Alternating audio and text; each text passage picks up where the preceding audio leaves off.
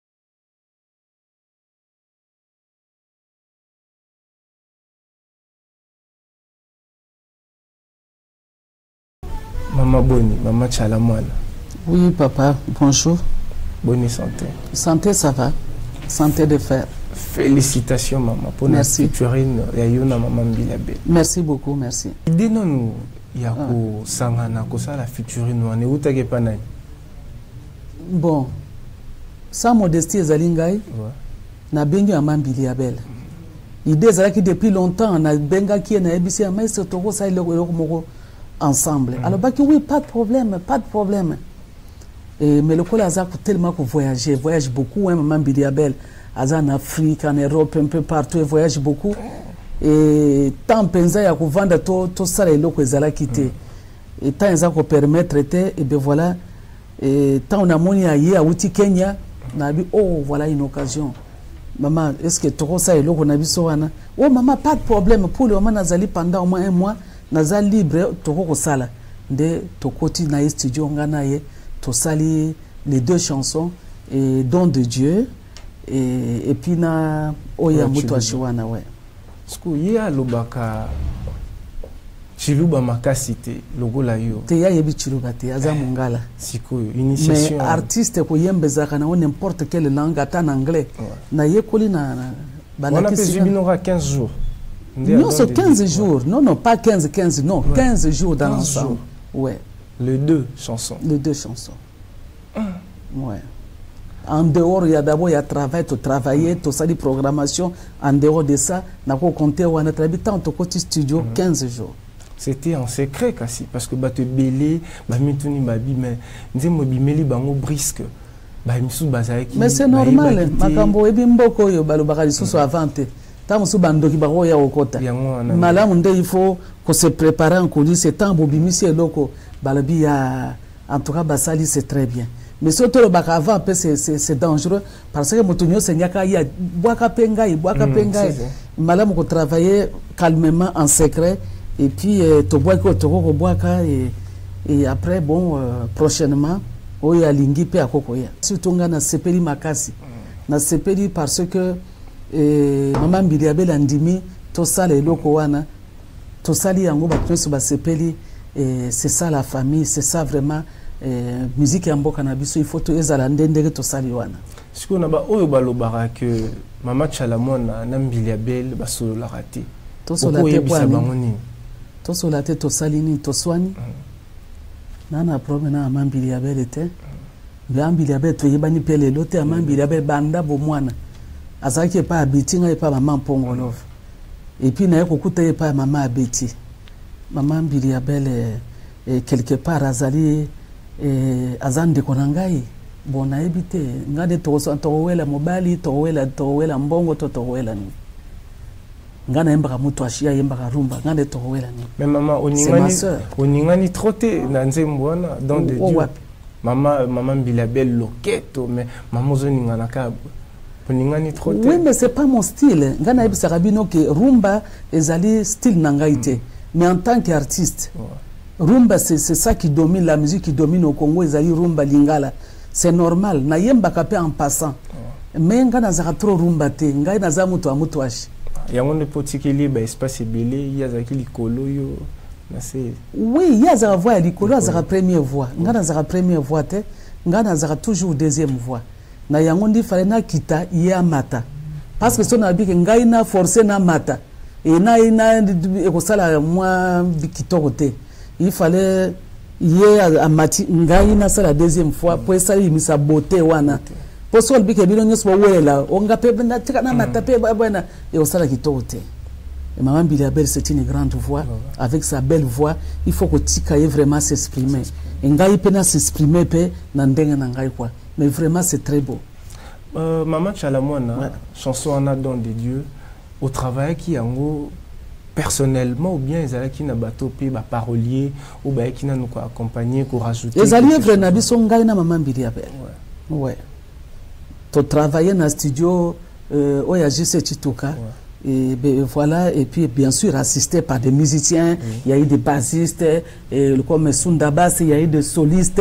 Et, ba clavier ya minene lokola ba simplice eh, disons ya ye débusien tout autour et puis ya ye jojo aussi oyo assiste mpe biso eh, na, na, na, jojo lina, lina soki oh. ina ou lina oh. et assiste biso mpe disons quand même totravaille biso mibale te c'est vraiment tout un groupe Euh, maman, tomonaki yo mpe lisusu na vernissage ya Felix Wazeko. Ozalaki invité kokota présence na yo kaka ntango okoti. Felix Wazeko azalaki koloba makambo mosusu, me ntango amoni abige sans mama mawa trop.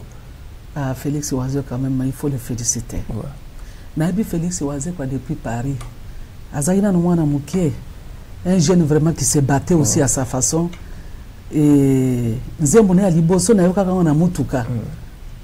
eh, ayembi na tabu ley nayokaki yango na gare de l'est epai ya um, sonima na kati ya motuka nayoki mama oyoki ndenge nini eh, ngabi ya ah, mais c'est bien mais vraiment en tout cas eh, soko ko remixer esala lisusu bien Akzongi abi oui oza na raison azongi a remixe nzembo ne wana ebi moto asutenaki ya liboso ezalaki tabu ley bayembaka na ye ti epuis na kosituka nayoki akomi awa nga bi o oh, nga bi o oh, petit oyo acontinue vraiment il est courageux e namoni mpe aye kobimisa style na ye ya bagénérique ba bamakambo nde asalaka wana e vraiment epesi epesi epesi aujourd'hui vraiment azali star Was Felix Waziri c'est vraiment une grande vedette na mboka na biso pe libanda ya mboka na biso.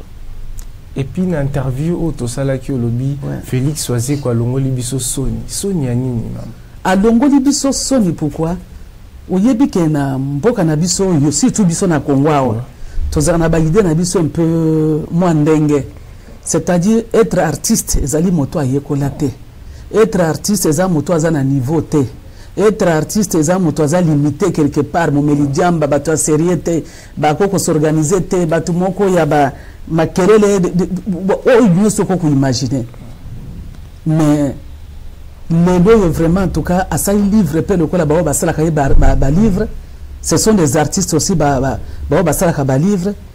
Nalakisi que vraiment que azali intellectuel, alakisi vraiment que aza na niveau, alakisi na miso ya bato que artiste azali capable de tout.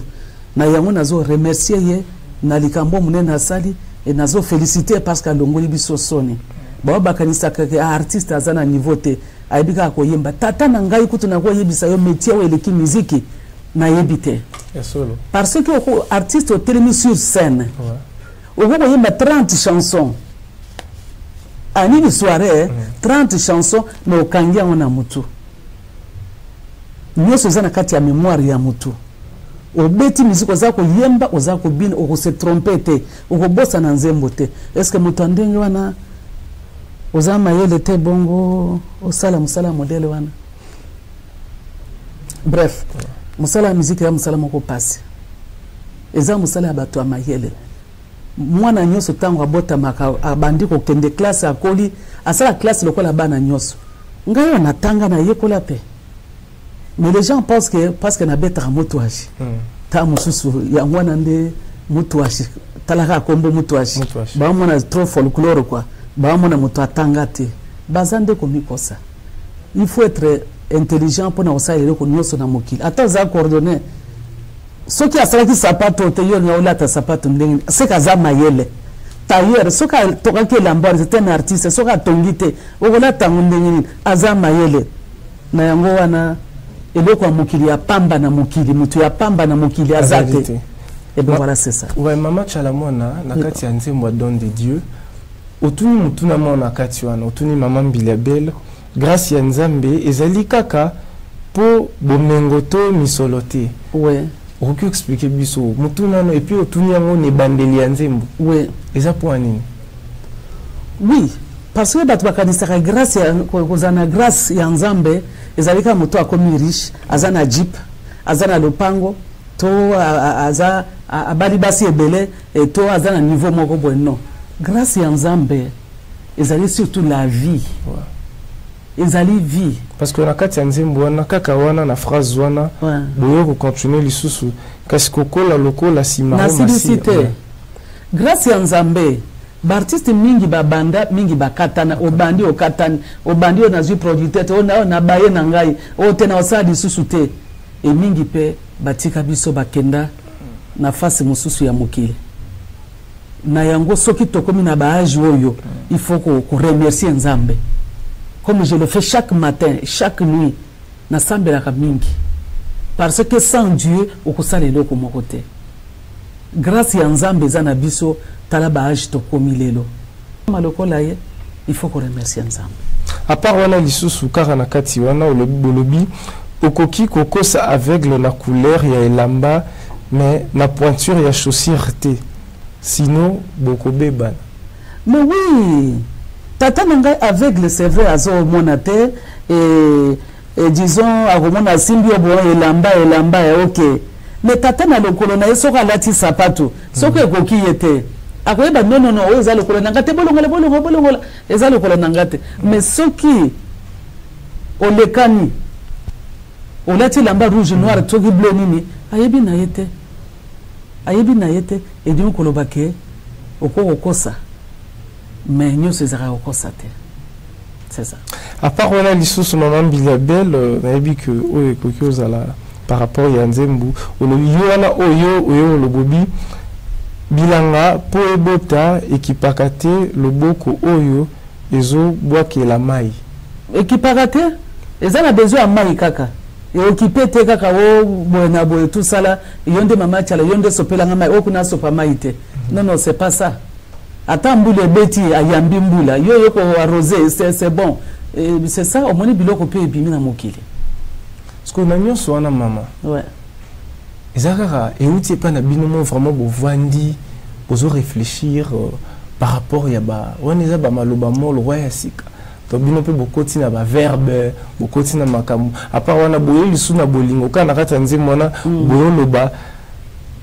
Na bomba mbongo na coffre fort, mais love na motema. Ah ouais, ya ya ya ya Jeff Ndjadji Leteta. Et eh bien voilà, moto to yembi na kati ya nzembo oyo. Et vraiment on a profité na occasion ko remercier ye parce que quelque part il nous a assisté. Ouais. ouais.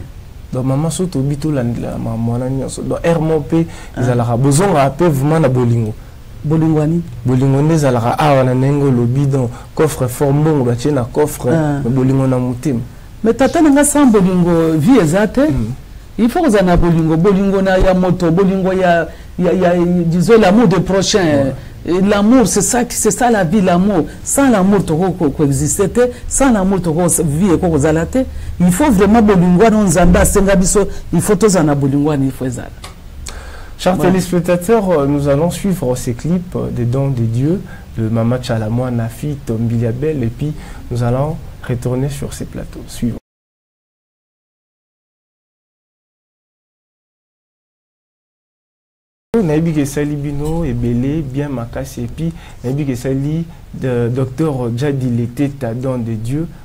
oki nde bamama bayembeli yo dans ça fait ah plaisir ouais, c'est un, c'est un euh, grand mécène hein, ce monsieur œuvre, ah ouais c'est un monsieur vraiment il mérite vraiment d'être chanté mm. vraiment asalisaka bato mingi baartiste vraiment c'est un grand monsieur et surtout un grand docteur ouais. chirurgien mm. tu as dit les têtes ouais, ouais parce que ouais. maman badroit d'auteur bosuka nango ndeni parce que nzembo oyo eza chef d'œuvre Tata na ngai ata asali chef d'oeuvre na mboka oyo nzembo soki ebimi na mboka ekomi ya bino nyonso te bokomi kopartage na ba na ba miyibi na bakolo nzembo c'est ça le problème on n'est pas protégé yeah. toi protégé te mais mama boza, boza na sokoda te ah toza na sokoda bo bref nalingi na ngai susu badiscussion susu ya makambo ya basokoda te beaucoup de respect mpo na vieux verkis Na oyebise ka vraiment ah tombola lisusu mosana ekende liboso po toka kolia. Et ba droit d'auteur wana vraiment ezali trop minime vraiment. Et eloko na zo sepela penza te faut changer méthode moko boye oyo na osepela na yango te. Bato mosusu asala nzemu moko mm. etamboli etamboli te aza pe na même droit que yo moto ozobinisa bato mikolo nyonso osi omoni moto Oyo aza na succès lelo na oyo mosusu abetaka mpe lisusu miziki te na oyo mosusu asala théâtre kala eyokanaka mpe lisusu te so babengi nani aye mpe kotelema ifo opesa mbongo mm. embongo wana bazokalikile te sui na bafeye wana mbongo wana bazopesa forfait so bapesi ngai 500 dollars bakopesa ye mpe 500 dollars nabibi finalement ça devient quoi et même 500 dollars c'est ça le droit d'auteur Nakoyebisa president na biso ya Sokoda vraiment meka nanu kotala nanu kote wana et puis kote mosusu nakosenga na bandeko oyo nyonso bayokaka miziki ya mboka na biso awa na Congo partout na bisika nyonso bamekaka kofutaka mpe badroit batelevision baradio bafutaka badroit te bino bofutaka badroit te badroit na biso te tokozwa mbongo ndenge nini ba bar ba, ba hotel ba avion ba, ba voiture bisika nyonso musique ebeta il faut ofuta ba droit wana mais efutaka mpenza na ndenge esengeli te soki vraiment eza kofuta ndenge esengeli artiste ako kozala ndenge mingi baza lelo te parce que ekomi compliqué mpo na baartiste ebele surtout baoyo babetaka te wana omona mpenza oyo oh, mpenza aza artiste oyo oh, mpenza abetaka miziki Eza mua mawa mingi et cote wana vraiment soki papa Verkis aluka moyen ya ko ko renforcer lisusu musala na ye et po te tozwa ba droit ye ya lisusu mingi parce que oyo tozozwa eza penza droit te wana ekomi lokola mwa mwa pourboire moko boye esala penza bien te ok maman chalamona à part ça piraterie oui. na musique congolaise ah, piraterie c'est vraiment dommage kende na bamboka nyonso ya mokili Ba artistes nionso ya ba mboka wana baza proteger na ba mboka na bango. Mais sauf mboka na biso. Okoki ko pirater musique ya ba etrangers. Mais musique oyo ya mboka ya, ya bana mboka wana bakoki ko pirater yango te, se proteger pourquoi? Po ekoka, po artiste wana ko akoteka. Mais epa na biso eza polele polele. Musique ewuta Chine eza kokota. Ewuta Inde eza kowuta ezo wuta Ouganda hmm. ezo wuta Nairobi ezo wuta Tanzanie on est piraté et vraiment abandonné vraiment de nous-mêmes wana kote wana vraiment na kotelemela ministère na biso ya culture esala quelque chose ministère na biso ya culture ezosala eloko moko te na bi ministre te na bi ministère ministère esali l'état na biso asala quelque chose baprotege biso baprotege baevre na biso est ce que oyebi ke tolobaka toza soki 70 millions soki combien meme ne fils que soki oteki ata 5 millions ya pamba kaka na mboka na yo ata na 1 dollar 1 dollar tata na kozala omwe na 5 millions de dollars que maman ebongo bino nde bozoteka sur internet bongo parce que internet ekoma neti nzembo ya don de dieu na baplateforme nyonso bato bazo telecharge bazo telecharge mais c'est pas normal ezo rendre biso service te ewuti kobima apene eyake mokolo moko ouais. mais il faut omona na bainternet kotala na boyi te moto nyonso ako otala na ye mais oyo baza kodecharge bato bakomi kotekela yo mm. yo na ye bozalaki na na studio te aza producteur na yo te il n'a rien mis là dedans mais okomona moto nyonso na moto aza akomi ekomi eloko na ye ye nde akomi koteka ye nde asala oyo ye alingi c'est pas normal Omoni ba page musu eza kuna ba ba adresse chala mwana azali ata ti. Yoza na ngata oza na ba ba 20. Plus que ça même. Mm. Et nyoso na ce n'est pas moi. Eza ngai. Nyoso jira na ngote. Ata na Facebook okoma. Nga na komaka Facebook te. Lokuta mabe na komaka Facebook te. Na discutaka na Facebook te. Ngai makambo ya ba internet na maniaka pe yango pe te. Ce n'est pas que na yebi te, na lingaka ko tanga pe ba biloko wana te. Na lingaka te. Parce qu'il y a trop de mensonges, makambo eza kuna so l'heure nionso oza na internet oko bela mutu. Na lingaka te ko tala internet, ba Facebook na zala te kuna te. Telephone na ngai obenga directement na telephone ou osali ngai message. To, to, oko, na ko repondre yo. Mais bango basalaka yango eza mabe te.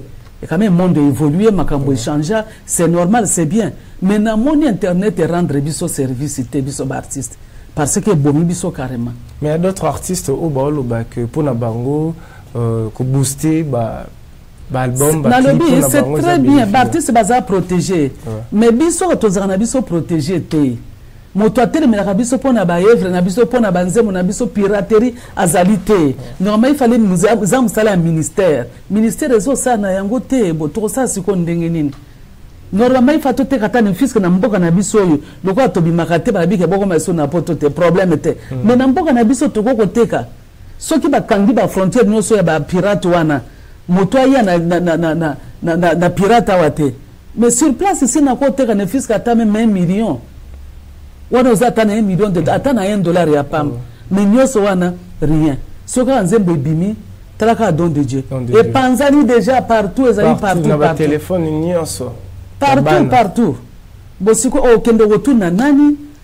Eh, okosala ndenge nini moto akolobela yo mpe aza na On a aza sur, na euh, dans de Dieu sur DVD na ba na ba place bo bo déposer yango. nano Ezoteka tode- ma- nano todepose te Non. ebeti kaka na télévision Na kaka télévision. pamba ale c'est fini c'est parti lisapo Parce que Ekei. biso tozalaki bato ya liboso ya ko balancer yango na baraka si si télévision. napesaki yango na honorable serge kayembe tozalaki na manifestation epa felix wazekwa mm. napesaki ye moto ya liboso liboso napesaki ouais. mama tosolola mpe nanu affaire poto parce que dernièrement outaki poto ozwaki mwa bamenance tout ça musique na poto ezobeta te baartistenon nazwa menace kala nazwaka na belgique nazwi mpe na paris na france musique na poto ezobeta te eza buzoba mm. ezali buzoba buzoba ndenge nini explique biso tala kaka lelo oyo mm. bolobi baartiste baya na poto te bobeta lisusu awa te ok sikoyo baartiste mosusu wana ya bamboka misusu banigérien baivoirien baboye na bakomi kobina badanse na biso mm -hmm. bakomi kobeta miziki na biso bakomi kobalola ndenge na bango e biso culture na biso ezongi nsima tata na nga vraiment eske wana ozomona yango normal Eza kitoko te. Base base ya musique africaine lelo oyo c'est qui? C'est la, la, la, la musique ya, ya Congo. Mais musique oyo nani abomi yango lelo eza kaka ba ndeko na biso parce que tant tokendeke mikili tozokende tozomema culture ya mboka na biso tozosangisa mpe bandeko na biso mpe eh, ezalaka mpe mwa retrouvaille moko boye mpe eza mpe fierité mpe ya mboka na biso mais kombata alobi ngai oyo bokoya kobeta awa te Pona nini po boyembeli Kabila? Ah, toyembeli Leteta, toyembeli Serge Kayembe, toyembeli soki nani, toyembelaka tout le monde. Bon, yeba oyembele te po nini? Surtout moto azokamba mboka na biso, mm. il faut l'encourager, il faut le soutenir. Mabe nini oyo ye asali? nayebi te nayebi te soki eza epekisa bota na bamboka misusu ntango baartiste baprésident bakendaka baélection ya toujours des artistes autour eza nango problème te mais oyo ya biso ekomi lokola problème mosusu bacombattant wana kutu hmm. dabord bacombataka nini yebisaka na bacombataka dabord nini baza wana baza ebele nde baza boye baza ebele baza kocombattre nini na eboyi te soki oza na likambo na président kabila Chez nous ici nous avons des opposants. Ah oye oye oye oye olobi ko leki na television bayoka yo ndenge balobaka wana et puis bamona ke opposant mosusu yeyo to oya kopesa ba idée na yo oyo olingi basalela mais okofinga okofinga okofinga okofinga wana ekomi culture na biso ekomika ya monoko ya kofingaka bato eyosala mpenza kitoko te un grand congo comme le nôtre un grand pays comme le nôtre bato lobi tozalaki respecte elelo eboye tala babikolo misusu bamboka misusu bakomi komona biso pamba parce que toza sérieux te combattant combattant okombattre ngai nasali yo nini ngai naza moyembi nzembo alanga nzembo na ye mpo na représenter culture na biso quelque part nazoya mpe mpo na koluka mpe mbongo parce que c'est mon job nazoya koluka mpe mbongo so nabeti bafuti nga na futi pe entreprise na jizo ba musicien na nga pe tozui mwa fufu siko yo oza koloba na kobeta te tata na kende na poto un bon congolais wa asala ka musana ya debrouiller ka vie na ye il n'a pas ce temps là ya kende ko tele mo na kende ko attaquer Werrason na kende ko attaquer Amacha la moi na kende ko attaquer Soyi Bonabo ils n'ont pas ce temps là mais bato bazo ba combattants wana Ce sont pas des combats, ce sont des voleurs. Parce que maman, bozo rappelez tant entre vous les artistes au Bovandi par rapport à la réaction et eh ben dès qu'on a biso au bazar la poteau. Moi. Tozo akatan, tout misto babzi to gutana ka to solo la ka. To sali nini? Parce que suite nango na maramuni en so. Non, mais c'est totiki bango, totiki bango ba sala bango. Ce sont des kuluna. Et puis na poto moto a débrouillé ka vie na ye, azana tamba ka pa mpamba wana te. soki ozali opposant yaka awa na, na source esika ba opposition ezalaka ah. esika makambo yango ya politiki ezali yo ozobela kuna mosika français to belge ya nde akoya kolobela yo mboka na biso ezali dirige par biso moko bacongolais toza na mwana oyo ya moke koma il s'appelle notre nouveau star la nabosani komona te héritier akenda kobeta na olympi omoni makambo esalemaki toloba ke ayembela ye kabila mais siko tozo comprendre lisusu te wana eza ikombata te eza moyibi totika vraiment koyibaka bato ce n'est pas bon na bapastere bokomona bakombattre bango na bamusicien na bato nyonso moto nyonso aza bien o kolabo o boye na boye bandeko tochange monde eza kochange biso mpe tochange osalaka te yaka boye ndeko aye mama cala mwana oye e eh, mama tuka vraiment na accompagnaka yo ata na bacourse ntango mosusu mwa mike na etata eh, vraiment ekoki kosalisa mpe yo mm. mais sikoyo yo ozosala nga komaltraite nga ndenge wana osala mpenza kitoko te epo gagne kua mama cala mwana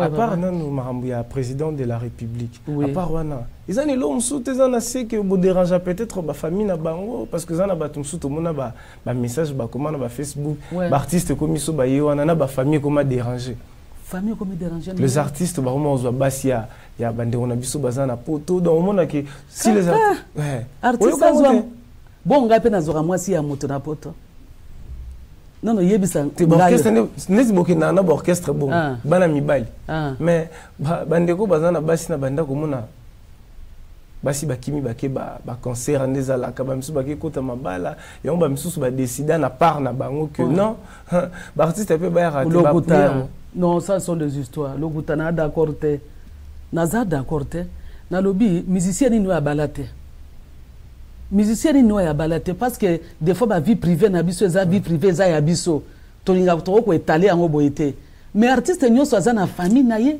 aza na mwasi aza na bana aza na makambo na ye azokende na poto mpo na kotravaille koluka mpe vie sikoyo yo oya koderange oyo baya kozwa wana eza complexe mm. Mobali ya modèle wana ous aza complexe ou quelque part aza jaloux que mwasi nanga soki akomi na musique kuna akozwa mibali mosusu mais pas les musiciens musicien aza na temps wana te musicien azoya koluka mpe vie na ye musicien azoya koluka mwasi no atiki mwasi na kinshasa akoluka kaka mwasi kaka oyo ya yo nde oyo aza kitoko koleka basi nyonso wana ezali argument normal te oh. ouais. donc euh, cher téléspectateur nayebi que boza Ebele Bolanda Bisso de partout Ça, dans le monde. Des histoires, parce hein? que nous sommes à la nouvelle vitesse. Et puis un grand merci à Blaise Mobobo Zebele, Motema ya Pamela Chibaka, la baronne Ramsia Gaillard, le géant garçon de Paris. Mama Chalamwana, mm. lelo ba génération ya ba jeune fille. Yebisa bato balobi ke bamisie baya kozwa basiyebisa baotala soso ya kosadresse na bango tokoyebisa bango boye biso mpe toa na bafamille Toza na mibali kitoko na ba ndako na biso. Toza na basi kitoko na ba ndako na biso. Ba artistes baza complet. Bo mona te ke ba oya ko bala na poto. Mm. Awa makambo nyoso to ezali awa nde base. Base. Bongo sikoyo otiki base awa moto asi abali mwa to to oza ko oza na complexe. Maman generation ya ya sika ya ba ba fille babimi ou oui. bazolanda pe lokolo. Ebele ya kitoko mingi bazali we. ozo encourager bango est ce que eza na bato ba misusu pe bayaka proche na yo oyo ebele ebele bayaka na baparent mosusu bayaka na bana bango mama chala encadre mwana ngai nalingi mpe ayemba amata mpe akoma mpe lokola mpe bino mais ya un problème quel problème na bana na biso bajeune na biso ouais. bajeune na biso eh, surtout ya basi nde baza na problème soki alingi amata bon c'est vrai qu'il y a des dérangements de gauche à droite Mais il faut koyeba kopona parce que mosala eza mosala ya sacrifice makasi. Il faut kozala na courage.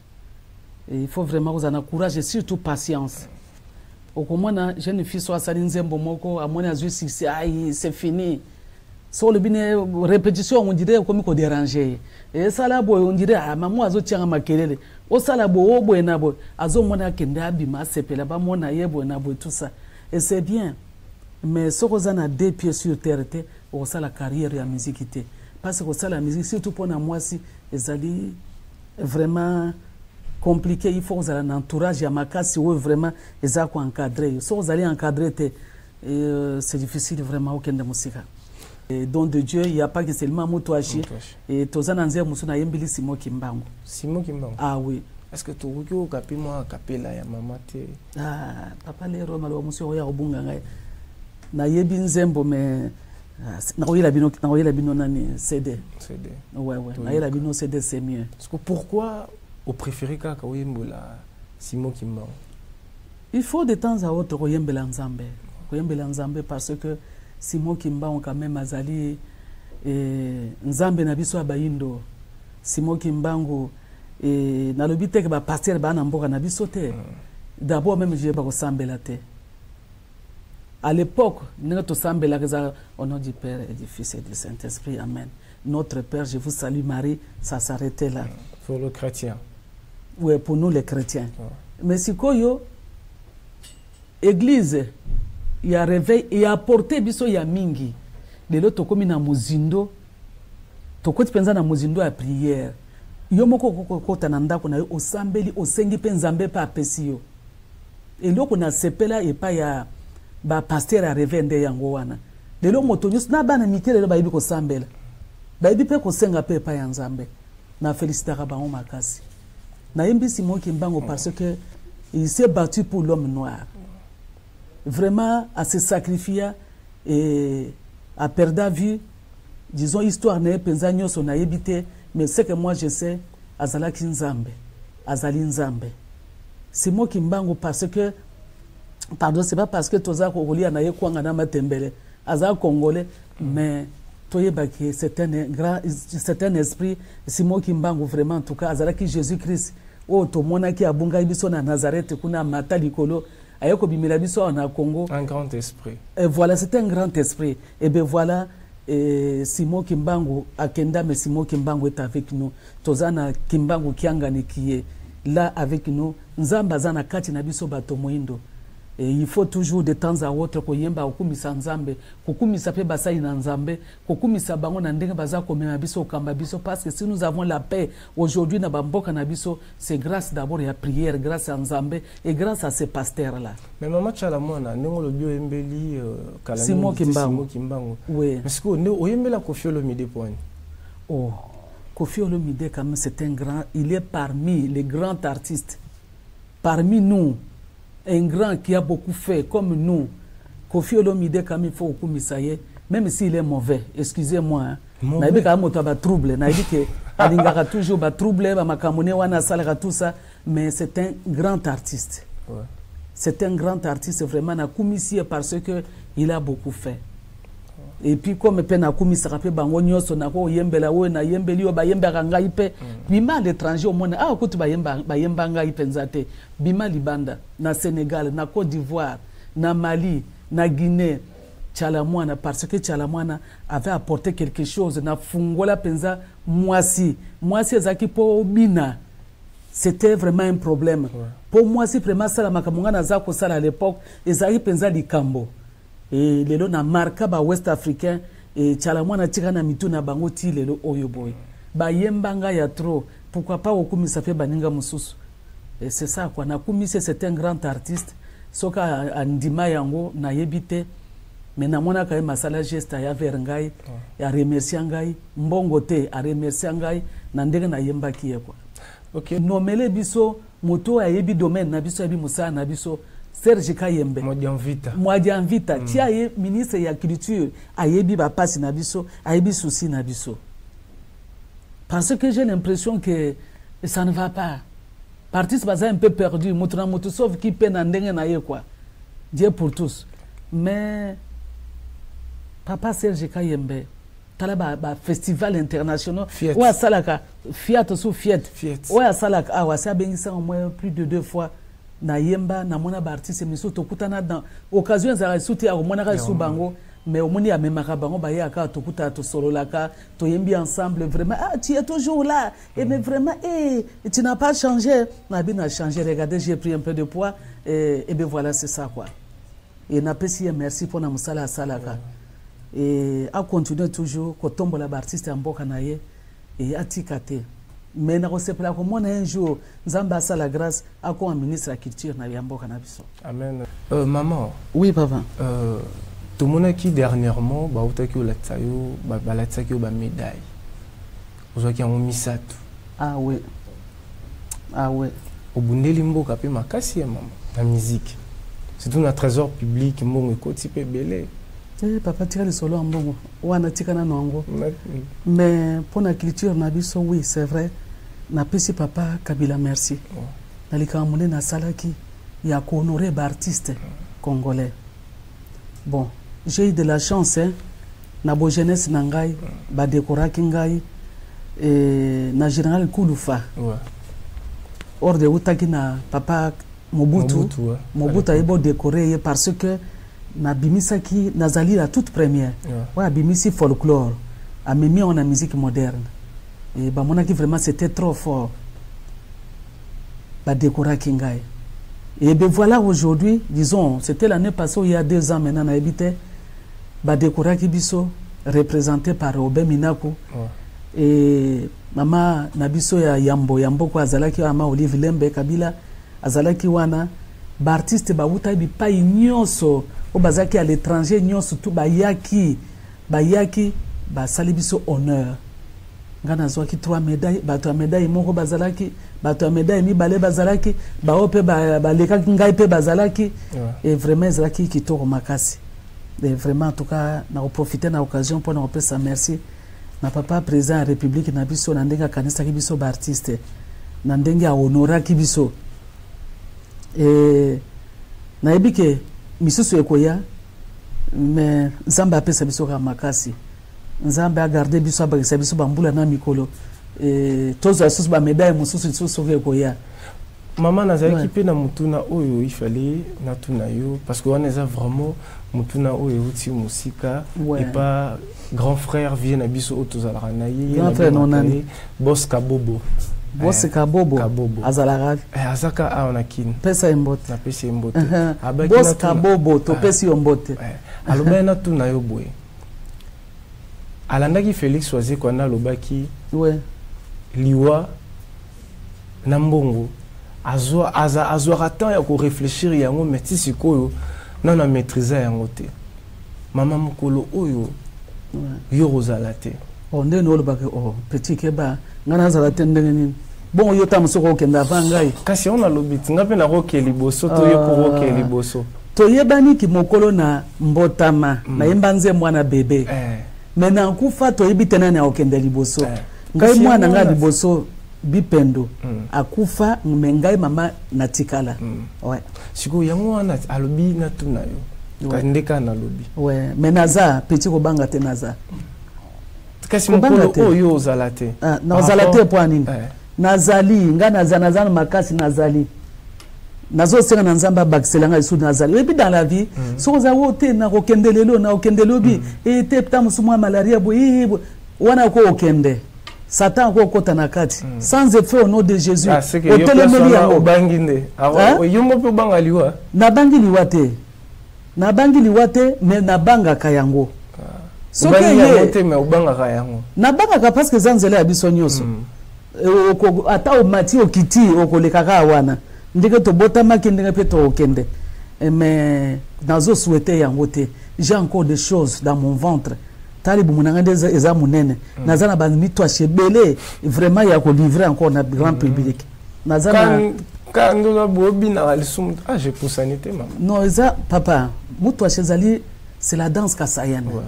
ozala vieux ozala jeune esengi te o oh, il faut ozala jeune mpo opumbwa no mm.